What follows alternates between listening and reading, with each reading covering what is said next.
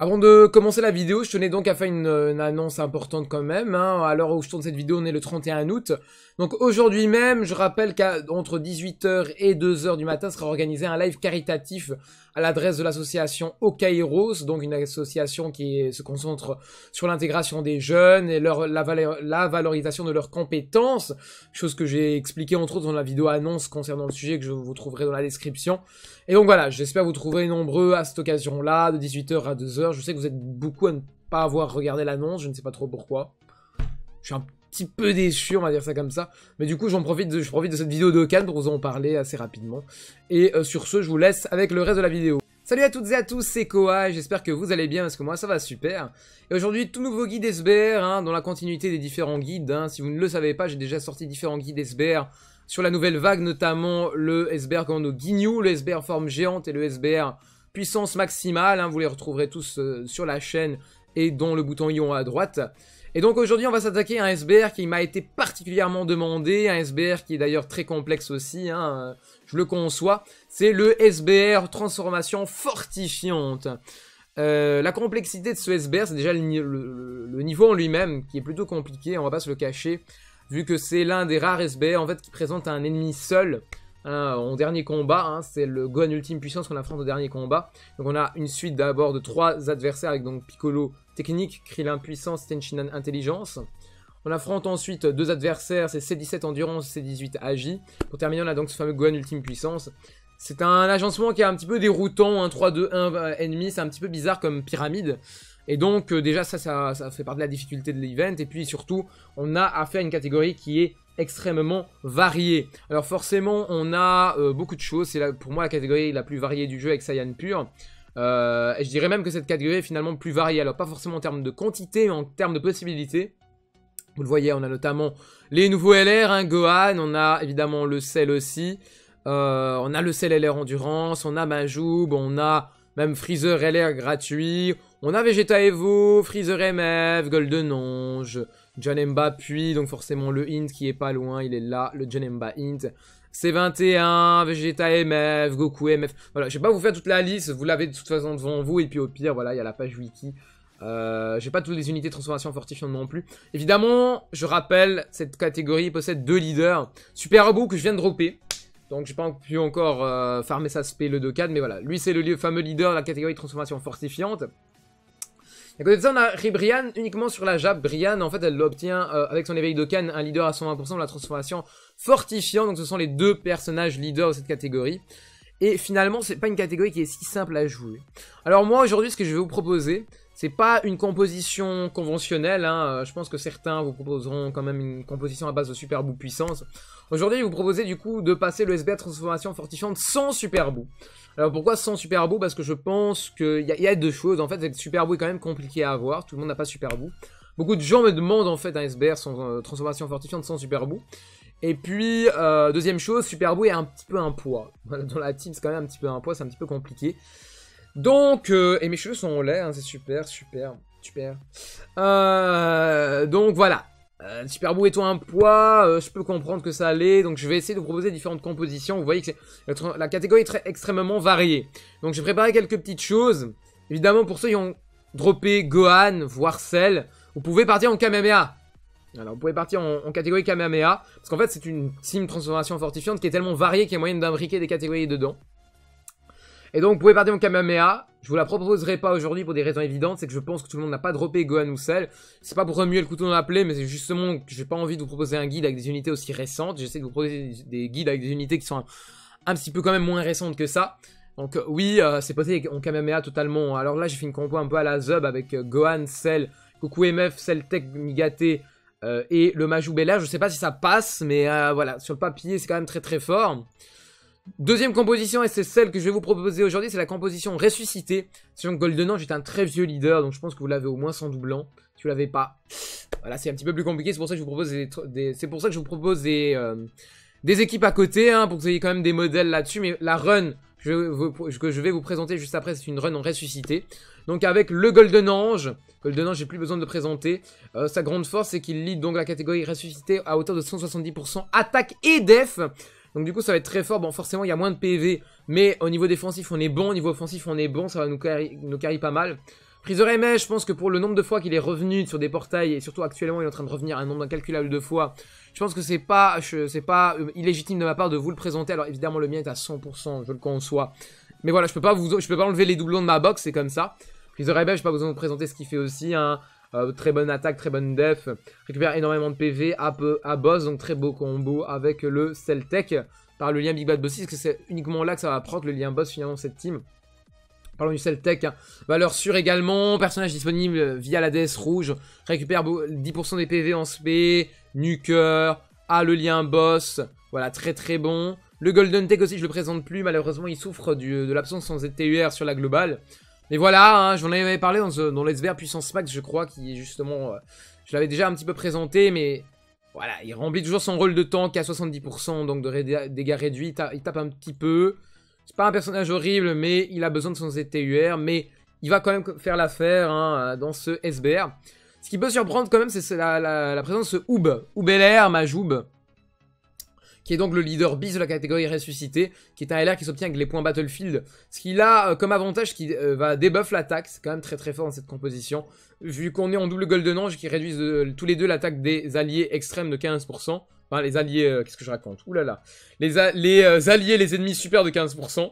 Shogun joue une team, une team full extrême à, l'exception de Majoub. Voilà, hein, c'est comme ça. Et puis, il a un passif intéressant. D'ailleurs, j'avais oublié son passif en le jouant. C'est quand même incroyable. Plus les PV restants sont élevés, plus le kill, attaque et la def augmente. Donc au final, si vous arrivez, au début de combat, c'est très très fort quand même. Et puis, à côté de ça, il a quand même une transformation qu'il faut pas oublier. C'est là où il est, il est extrêmement intéressant, ce qui va provoquer la fusion avec Mister Boo si les PV sont à 40% ou moins. Et quand il se transforme, il passe en Majoub, du coup. Et il va récupérer 40% des PV une seule fois. C'est vraiment très très fort. Il récupère un bon boost, euh, change les qui plus 2 supplémentaires à chaque sphère de ki arc-en-ciel obtenu. C'est un peu une carte que je redécouvre parce que je l'avais vraiment jamais joué. Et donc je suis vraiment étonné de ses compétences dans ce SB. Vous allez voir qu'il joue quand même pas mal. Il y a quand même un impact pas mal. Et puis pour terminer, le Fatboo. Fatboo puissance, qu'est-ce qui nous vaut En fait c'est un carnage qui peut stun. Euh, un carnage qui est pas dégueu, qui change les ki, donc il libère le plateau, il peut stun, il change les tout ça est très très bon. Il a quelques liens, euh, il a quelques liens intéressants aussi, c'est pas la folie, mais bon, ici dans un contexte son, jouer des bouts, c'est moins intéressant. Là où par exemple je vais vous proposer une autre compo, c'est une composition ici en boss de film puissance max. Alors de nouveau j'ai intégré Gohan SL, mais évidemment on peut jouer sans hein, cette composition, c'est largement faisable. Le Janemba, très grosse valeur sûre. Golden Tech de nouveau valeur sûre. Et puis Vegeta Evo, je l'ai mis un peu de façon random, je sais pas du tout ce qu'il vaut, je vais pas tester la team. Mais je pense qu'il peut carry face à un... face au, au Gohan Ultime qui est puissant, je rappelle du coup au dernier combat, je pense qu'il peut être utile. Et puis dernière composition que je vous propose ici, c'est une, composition à base de Freezer euh, multiforme en leader, donc ça lead quand même 120% en extrême, mais c'est faible. Du coup, il y a quand même Janemba, Janemba toujours la valeur sûre. On a le Fatbook, je vous ai déjà présenté. Le Beau Maléfique Endurance, alors lui, d'où il sort, hein, si vous avez vu mon SBR Extreme Endurance sans item, vous savez ce qu'il vaut. Il bloque l'aspect, il débuffe de 20% l'attaque et la def des ennemis sur son passif. Et il a une chance d'esquiver, c'est un, personnage qui est très très intéressant, mais il n'a pas de défense. Super vous le savez si vous me suivez, c'est une unité que j'apprécie beaucoup, de la même manière que Nick d'ailleurs. Dédicace à toi Nick. Il a une chance de stun, il récupère les PV de 30%, c'est très fort, mais il n'a pas de def en contrepartie. Et puis le Golden Tech, j'ai pas besoin de vous le représenter, donc voilà. Nous on va partir sur cette composition là. La stratégie, c'est donc d'utiliser le Fatboo au maximum sur le premier combat pour essayer de stun les ennemis. Sur le deuxième combat, on va être plus sur une stratégie de contrôle. Le dernier combat, le Gohan Ultime va nous casser les couilles. Ça va jouer un petit peu plus sur le fil. On va essayer de, jouer avec les debuffs de Majoub. Et puis euh, de récupérer des PV, d'essayer de se rendre tanky avec boss. Voilà, en fait, sur les premiers combats, ça va être facile. Mais dès qu'on arrive sur Gohan Ultime, ça va être plus compliqué. Parce qu'il va falloir... En fait, dans le meilleur des cas, on sonne avec Fatboo, mais vous allez voir que ça n'arrive jamais. Sur ce, je vous laisse sur la run. On part maintenant donc sur la run au niveau item. J'ai pris un petit peu le classique, hein, donc C8 avec Bulma. Et puis derrière, on a le dragon avec Marron. Marron, c'est intéressant ici parce qu'on a quand même les Golden Ange qui débuffent de 15%. Donc finalement, ça va venir stacker un petit peu. Là, on est sur une rotation qui n'est pas horrible. Parce qu'on a du coup double Golden, c'est-à-dire 30% de réduction d'attaque en face. On a le Golden Tech qui tank bien. Alors évidemment, les attaques sont concentrées à la fin. Donc on arrive sur un setup qui m'arrange pas tant que ça. Mais si je prends le parti de ne pas claquer d'item, hein, je me dis qu'il y a moyen sans item. Donc je garde les deux Golden Ange en rotation. Pour essayer, et là je focus le tech parce qu'en fait Golden Ange va le détruire, hein, le Piccolo. En fait ils ont pas tant de PV que ça. Hein. Première phase ça va, ils ont vraiment des PV qui sont pas vraiment horrible en fait. Vraiment, euh, Piccolo, Krillin, Tenchina, ils ont pas autant de PV que ça. Évidemment, Piccolo a plus de PV. Je crois que Tenchinan c'est le deuxième à avoir plus de PV. Je crois que Krillin a un petit peu moins de PV que Tenchinan. Je suis pas exactement sûr. Je voudrais vérifier un petit peu. C'est pas très important de toute façon. Les PV sont plus ou moins équivalents entre Krillin et Tenchinan. Du coup, vous voyez, vous voyez, Golden Ange, quand même, on voit une belle tarte. À, je dirais qu'on a enlevé un huitième de ses PV. Malheureusement, la spé tombe directement derrière. Hein, euh, quand même 200 000 euh, sans item. Hein, sans item, forcément 200 000 en spé, c'est quand même énorme. Derrière, on envoie de nouveau une tarte du coup à ce, à ce Piccolo. Et vu qu'on avait Fierce Battle, là on avait les liens du coup, parce que le premier n'avait pas de lien. Avec les liens, on voit qu'avec le crit, ça envoie vraiment du lourd sur le Piccolo. forcément, je force sur le Piccolo, on essaie de le descendre assez rapidement, vu qu'on s'est créé une possibilité de, le descendre assez rapidement. Vous voyez, Golden Tech, avec la réduction d'attaque en phase de 30%, il prend pas grand chose, hein, même s'il se fait taper avec avantage type. Et derrière, du coup, on avait le Majoub. C'est l'une des raisons pour lesquelles j'ai pas item, parce qu'on a le Majoub qui va se transformer du coup directement une magnifique transformation que je ne vois jamais. Et du coup, on a une régénération monstrueuse sur cette rotation. Avec 40% plus les 11% de Freezer MF. On est du coup sur du 51% de régénération sur cette euh, rotation. C'était incroyable. C'est pour ça que j'ai pas item. Hein, ça me paraît assez évident. Là, de nouveau, je prends le parti de pas item parce que je pense que... Euh, enfin, voilà, il y, a le lien boss qui peut proc. Alors, c'est vrai que Celtech Freezer MF, c'est pas un duo incroyable en termes de ki, mais si vous avez déjà ne serait-ce qu'une fois tryhard le euh, Battle Z suprême de Goku et SSJ3, vous savez que c'est un duo qui est intéressant pour le lien boss. Il y a un boss qui est très très intéressant, vous voyez hein, ici j'ai très très bien fait parce qu'évidemment on proc boss tous les jours, hein, et du coup ça fait monter le Celtech dans cette team à des, valeurs incroyables, hein, 2 millions 5, ce qui jarre complètement le Piccolo, derrière le Freezer MF qui part en SP, euh, en fait il restait un trait, Freezer MF qui lance une double SP, forcément faut avoir des doublants pour faire ça, mais euh, quand il fait ça, c'est très très agréable de par le fait qu'il buff sa def de ouf. Derrière, on va pouvoir debuff du coup le Tenshinhan, histoire qu'on prenne un petit peu moins de dégâts sur l'auto-attaque qui va nous infliger. On n'est pas si mal, hein, parce que certes on tombe sous la barre des 40% de PV, mais il faut se rappeler que oh, on n'a pas Golden Tech dans la rota, donc finalement on s'en fout un petit peu, hein, c'est pas du tout le souci. Évidemment là par contre il va falloir commencer à penser à claquer un item. Euh, je sais pas si je vais claquer finalement l'item. Je pense que je vais quand même prendre le... Ouais, je, claque quand même le C8 par sécurité, parce que là, j'ai joué deux fois avec le feu, là, je peux plus me le permettre, et on voit que finalement, les Golden occupent une défense monstrueuse à pratiquement... Enfin, ils culminent à 114 000, hein, les deux à 100%, c'est vraiment énorme. Ça me permet d'accéder au ki puissance, donc on a quelque chose d'assez honnête. Que le Fadou puisse tenter de stun, et puis le carnage de Piccolo sur euh, Krillin et Tenshinhan. Toujours apprécié, vous voyez qu'en auto, on ne prend plus rien ici grâce la, au buff de dev du C8. Krillin qui se prend la petite, la, petite spé, hein, je dis la petite spé, mais vous voyez qu'il va quand même infliger quelques dégâts, hein, c'est quand même pas rien, 686 000. Par contre, la punition derrière le Kienzen enchaîné de Krillin, qui m'envoie 175 000, finalement, c'est pas tant que ça. Le Fatbou, euh, sachant que j'ai pris 175 000, alors que j'étais avec simplement un buff de def, hein, c'est quand même à noter. La double spé de Fatbou, pour tenter le double, pour tenter le stun encore une fois, parce que ça n'a pas stun au départ. Malheureusement, ça, ça ne va pas. Pas de stun pour nous. A noter, hein, je pense pas que j'en ai parlé en intro, mais évidemment, le SBR est transforme fortifiant dépassable avec Superbou en leader. Ça reste le leader de la catégorie, ça me paraît évident. De la même manière, c'est pas ça avec Brian. Je sais pas si j'en ai parlé, je préfère quand même faire la parenthèse ici. C'est évident, vous pouvez le faire en double Superbou, c'est pas tant un problème que ça, faut juste jouer correctement avec par exemple Janemba, ZTUR, Golden Tech, etc. etc. On a ici euh, donc Golden Tech qui va euh, tonker euh, à contre-type Excusez-moi. Golden Tech, il va tanker à contre-type. Mais ça va, il a sa réduction de dégâts, donc a priori ça va pas poser tant de problèmes que ça. On tue le Krillin, on part d'ailleurs même en double spé, hein, pourquoi pas. Euh, finalement, s'il crit, ça peut être intéressant au niveau dégâts. Ce qu'il ne fait pas. Oh là là, oh là là. Le Celtech qui part en spé, excusez-moi. Le Celtech qui part en spé. Euh, et malheureusement, Freezer MF derrière, il ne part pas en SP du tout. Euh, par contre, on a du coup les rotations Majoub avec Golden Ange et Fatbou. Je prends le parti de tanker avec Fatbou du coup parce qu'il aura plus de dev que Golden Ange. Ça me paraît assez clair ici. Vu le setup. Euh, Golden... Golden Ange qui va lancer sa fabuleuse attaque spéciale. Et Majoub qui part en SP ultime ici. Mais vous allez voir que ça va, on va tuer avant, on va tuer largement avant même. On va tuer largement avant. Je sais pas ce qui m'arrive, c'est les ténèbres. Ok, donc on se prend quand même du 45 000 en auto ici, mais ça va. Parce qu'on va tuer Golden Ange sans aucun souci. Et nous voilà donc pour euh, ce premier combat avec un seul item claqué finalement. Euh, c'est quand même assez ouf hein, qu'on ait claqué qu'un seul item sur ce combat. Euh, parce qu'on, bon, a priori, le premier combat, on, finit quand même par claquer 2, 3, voire 2, 3 items quand même.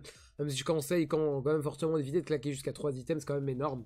2 items, ça arrive souvent. Là, on a claqué qu'un item, donc on a eu un petit peu de chance quand même sur l'agencement des personnages, etc. Là, on affronte donc C17 avec C18. Je vais commencer à focus C18 évidemment parce que je suis avec Tech donc avantage type. Et derrière avec le Golden Tech on va quand même relancer tout ça. Ici je crois que je vais reclaquer quand même un item. Je claquais du coup euh, l'item euh, l'item Higher Dragon, il me semble. je finis par claquer le fameux dragon rose, comme on l'appelle. Pour la simple et bonne raison que j'ai Golden Tech dans la rotation. Alors pourquoi je vais faire ça? D'ailleurs, vous voyez que j'hésite. Hein. Voyez que j'hésite. La raison est très simple, parce que du coup, Higher Dragon cumulé, avec le passif de Golden Tech, et bah du coup, ça donne 105% de réduction de dégâts. Ça veut dire 0. 0 dégâts reçus. Et ça m'arrange beaucoup dans la mesure où le euh, C17 pouvait me spé au centre. Je préférais agencer ça comme ça. D'ailleurs, si j'avais su, j'aurais mis du coup Golden Tech en première position, mais bon. C'est une décision que j'ai prise par après, un petit erreur de ma part quand même. C'est de mettre, de faire ça comme ça. Il faut quand même jouer le Celtec, euh, j'aurais jouer quand même le Celtec en deuxième position. Mais bon, hein, vous voyez que finalement, on se prend qu'une spé à 30 000 au lieu de 0, c'est pas la mort non plus. Hein, on n'est pas à 30 000 PV près ça va. On est quand même sur une team qui est relativement tanky, c'est pas le souci. Golden Ange, si on voit se fait du coup sur ces 18, qui envoie quand même de nouveau quelques dégâts, à 100% ça tape fort quand même. Hein. On finit quand même par envoyer quelques dégâts. 43 000, 14 000.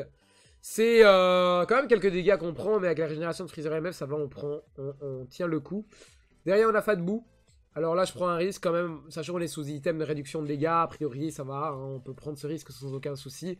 De utiliser Fatbou pour partir en spé carnage. Derrière, on a le Freezer MF qui va pouvoir euh, tanker la position de C17. Même si euh, le risque de spé est là, hein, c'est comme ça. Mais c'est chaud.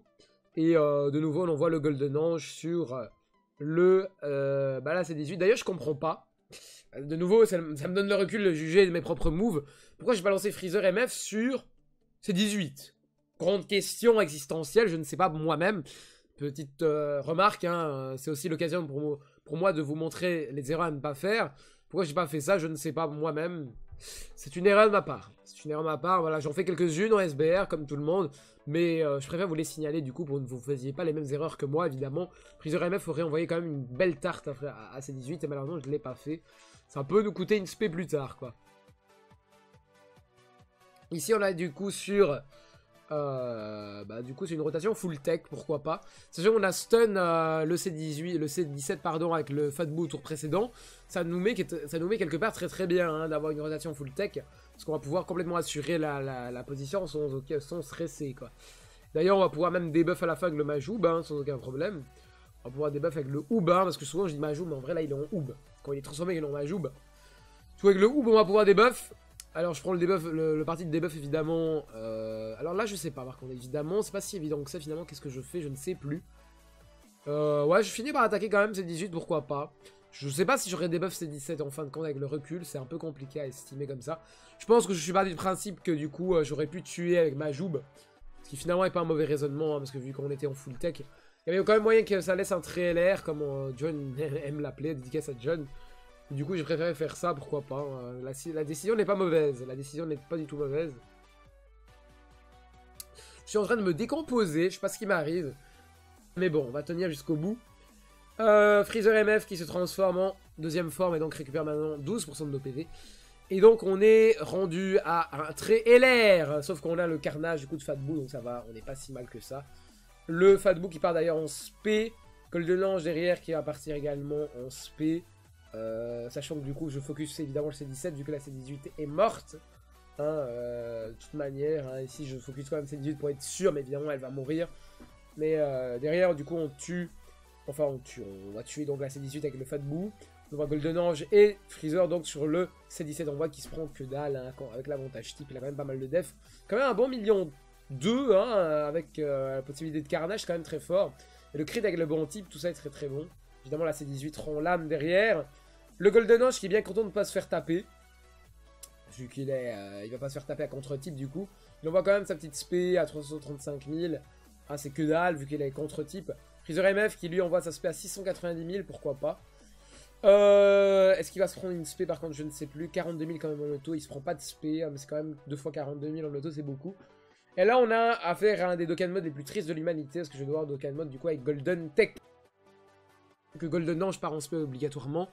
Mais je ne prenais pas le risque de partir en spé avec Golden Ange en Dokkan Mode, sachant qu'il était à contre-type. Hein, J'aurais dû compter sur un crit. C'est pas top top hein, de compter sur ce genre d'aptitude. Bien évidemment.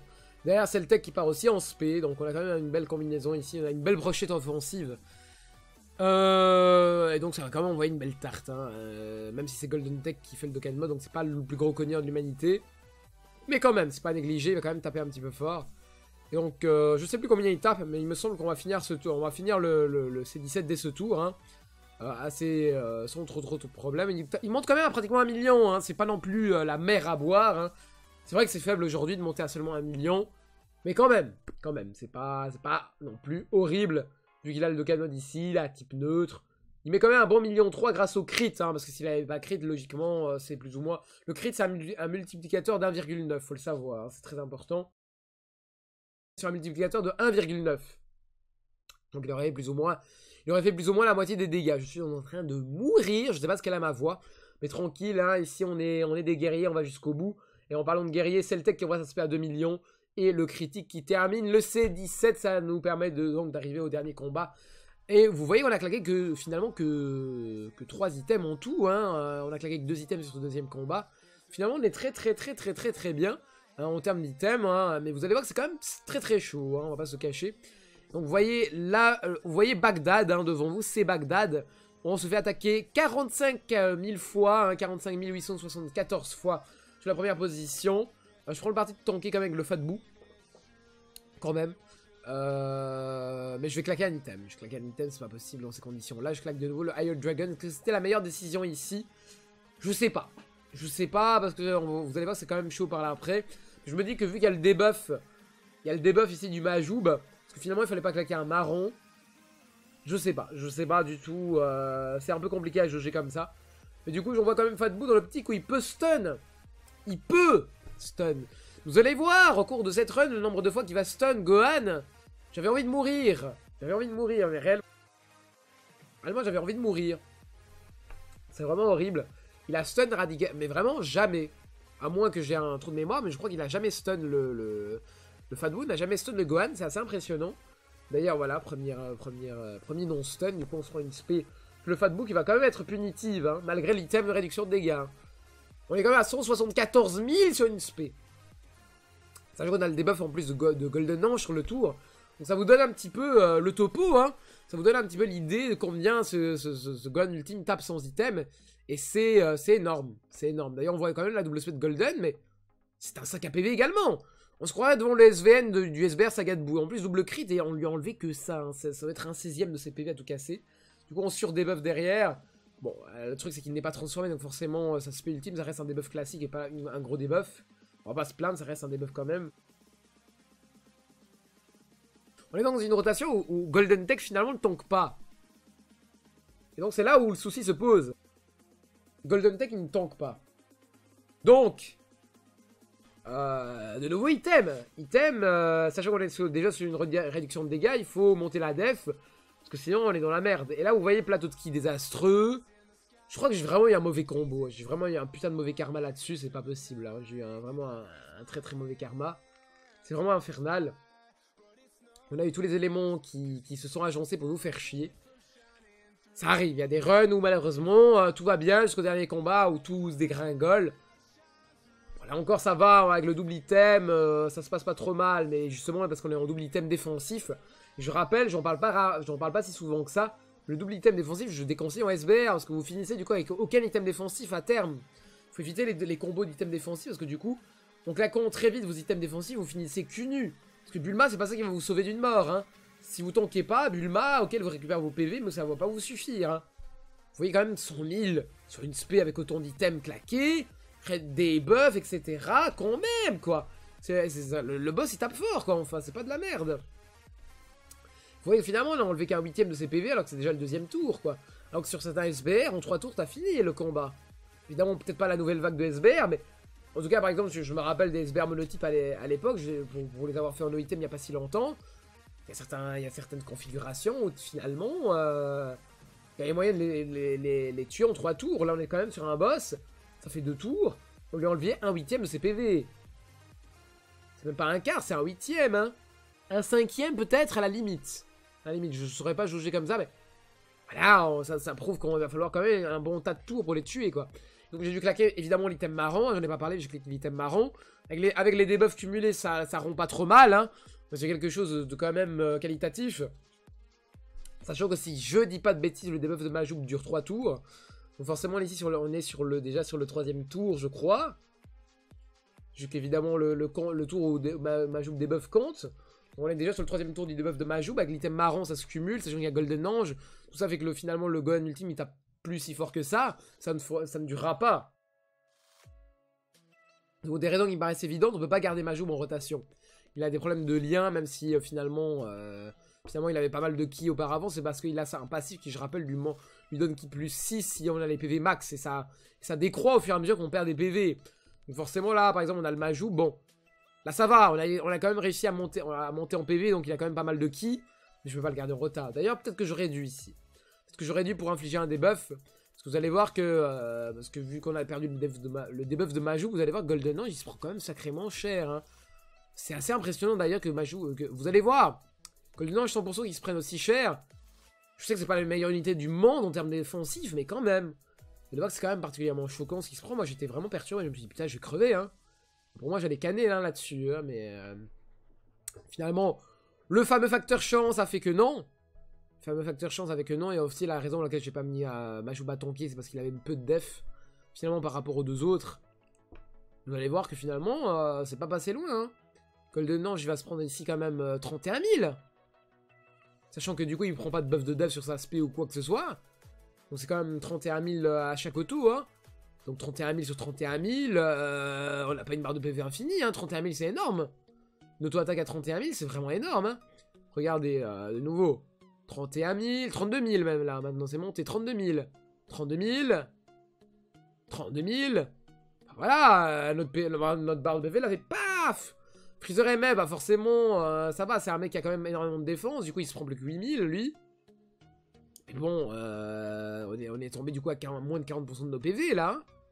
C'est quand même relativement, choquant. Sur le Majoub du coup il tourne donc on pourra pas récupérer son truc, mais et de nouveau on se retrouve avec un Golden Tech qui est poids mort. L'item marron a été, avait été utilisé, voilà, vous voyez hein. Forcément vous avez pas mes réactions directes, mais moi j'étais désemparé hein. L'item marron je peux plus le réactiver parce que ça stack pas. Euh, du coup, ma seule solution, c'est de claquer Bulma. Pour récupérer des PV, sinon je tenais pas. Je peux pas mettre Golden Deck à la fin, il va se faire défoncer. Je suis obligé de jeter mon Fatbook. Il n'a pas sonné jusqu'à maintenant, mais certes, quoi. Fatbook était quand même une force intéressante à garder en rotation, mais je peux pas jeter Golden Ange non plus, c'est ma seule assurance de debuff. Finalement, je remets Golden Ange, qui se prend quand même 10 000 dans la gueule, malgré le debuff de Majoub. Bon, avec Bulma, on commence à taper fort à, hauteur de 2 millions 4, mais quand même, quoi. De nouveau, je répète, on est sur quelque chose d'assez incroyable. C'est un spectacle triste, quoi. Et l'aspect de Gohan Ultime, euh, derrière, pour moi, ce tour-ci, c'était terminé. On se rend quand même dans la gueule du 200 000 200 000, c'est énorme. Et puis, en plus, l'auto, les, les qui me trollent, elle aurait pu être sur l'aspect. Donc bon, euh, moi j'étais là, bon, ok, d'accord, du tout de ma gueule. Golden Tech qui se prend du 50 000 en auto-attaque. Vous vous rendez compte? Bah, du coup, moi j'avais 130 000 PV à même pas. J'essaie de me dire, putain, euh, Fatbou il va pas tanker, quoi. Il stun pas. Bon, finalement, il avait tellement de def que avec le, debuff, ça tenait, mais... Je suis donc rendu à une rotation où il me reste 20% des PV, je régénère un petit peu grâce au, Freezer, et là, du coup, c'est pour ça que je vous dis que Freezer et, et Celtec ont ressuscité, c'est fort, parce que dans, un contexte de team avec 170%, et pourtant, c'est les seuls deux personnages qui ont Big Bad Bosses, vous voyez déjà les valeurs défensives du Freezer MF qui étaient au-delà des 100 000, sans item particulier au niveau de la def, et puis je vous laisse deviner que Celtec, euh, je crois que je, je peux pas regarder du coup dans cette... Euh, cette configuration, mais Celtic il se met très très bien, hein. il scale, il va scale très très vite. D'ailleurs vous voyez la régène passive qui est assez tarée, hein. regardez bien. Il vient de régénérer 10% de nos PV tranquillement, ce que Freezer MF a fait aussi. On va régénérer 20% de nos PV tout à fait gratuitement. Euh, et pourtant, on se prend de nouveau des autos terribles. Pour au niveau offensif, c'est taré avec l'item Bulma. Hein. On va monter sur des valeurs qui sont absolument incroyables. 2 millions 7 pour Freezer MF. Euh, là, là, on est sur quelque chose d'assez ouf. On se prend que dalle en auto-attaque du coup, parce qu'il y a énormément de def. C'est là où c'est très très fort de nouveau le duo. C'est le tech qui envoie 2 millions 7 quoi. et du coup régénère 10% des PV aussi derrière, qui repart en spé, ça, m'a mis tellement bien, vous imaginez pas, du coup récupération de nouveau de 10% des PV. Le crit, c'est ça qui m'a sauvé. C'est ça qui m'a sauvé sur, le dernier combat, un petit peu, hein, quelque part. Hein. forcément, ça allait finir par arriver, mais niveau offensif, sinon on était mort, hein, même défensif. Du coup, j'ai récupéré assez de PV dans le lot pour que Golden Tech il tank. Et euh, on va terminer la game avec l'aspect de Golden Intelligence, mais vous voyez finalement, euh, c'est pas non plus la mort en termes de difficulté, hein, je suis d'accord avec vous. Je le survends un petit peu, mais c'est pour dire qu'une seule erreur peut être fatale. Et parfois les erreurs n'arrivent pas volontairement, ça peut être un, coup de malchance. Tout simplement, ça peut être un coup de malchance, un mauvais, mauvais plateau. Vous voyez que j'ai pas eu un plateau de ouf, même si finalement j'ai réussi à récupérer la main. Voilà, voilà, il faut quand même un petit facteur chance de votre côté, quoi. Oui, Gold, vous voyez que, bon, euh, Golden Tech ou pas, on prend quand même des dégâts hein, ici. Hein. Bon, évidemment, je m'en branle parce que finalement, dans le fond, euh, ce qu'on retient, c'est que je vais le tuer tout de suite. Mais voilà, c'est le bilan. Ce qu'il faut faire très, très, très, très, très, très, très, très, très, très attention sur ce, dernier combat avec cette team.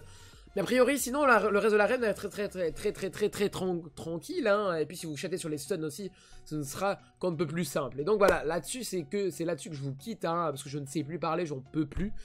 Euh, et donc, euh, voilà, le SBA, transformation fortifiante, hein, finalement, pas non plus la mort de la mort avec cette team-là.